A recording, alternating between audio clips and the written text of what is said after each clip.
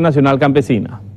Más de mil campesinos pertenecientes a la Federación Nacional Campesina realizaron su decimoctava manifestación exigiendo la implementación de la reforma agraria y el cumplimiento de las promesas electorales que había hecho el presidente de la República, Fernando Lugo. Los dirigentes calificaron a esta marcha como protesta contra el gobierno por la conquista de una segunda independencia y contra el latifundio, para la lema de, de esta marcha porque Obrero entender que este año tan importante políticamente, el bicentenario de nuestra independencia,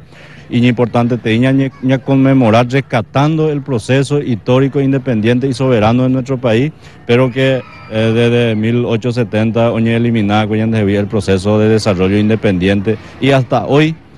la dependencia cada vez más es mayor porque mayor concentración de tierra, mayor agroexportación, mayor dependencia por el mercado externo, apea definitivamente callan de ellas de soberanía. Los campesinos culminaron su movilización alrededor de las 13 horas al terminar su acto central que se desarrolló frente al Cabildo.